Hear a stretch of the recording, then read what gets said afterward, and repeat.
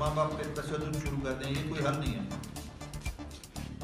آپ کا گھر ہے، یہ بلوچستان آپ کی سرزمین ہے، یہ گھر آپ کا ہے، یہاں پہ جو بھی آئے گا، وقتی طور پہ کوئی بھی آتا ہے۔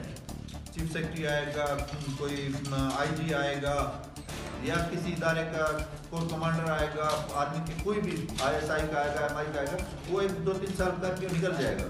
یہ دھرتی آپ کی گھر آپ کا ہے یہاں کے مالک آپ ہیں۔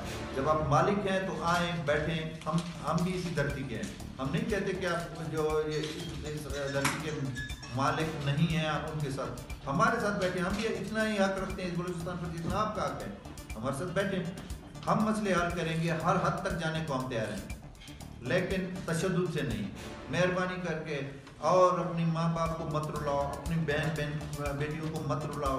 اپنی ہم کہاں جا سکتے ہیں؟ ہمارا جینا مرنا اس صوبے کے ساتھ ہے، اس دھرتی کے ساتھ ہے۔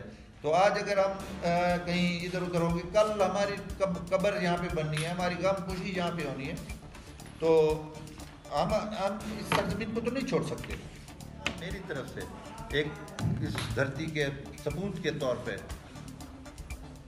ایک بھائی کی حیثیت سے، ایک باپ کی حیثیت سے جو بھی اس کو رشتہ دیں، میں اپیل کرتا ہوں کہ آئے حالات بدل چکے ہیں۔